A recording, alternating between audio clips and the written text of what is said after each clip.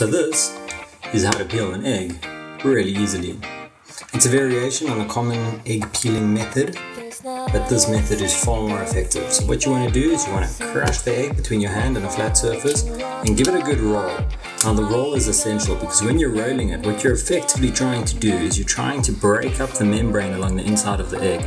If you separate that membrane from the egg, that's what's going to make this work. So crush, give it a good one all the way around, every side. Cool, we got it crushed, got a little bit of a blank spot on the set. Now this is where it gets tricky. You want to use all, all of your fingers.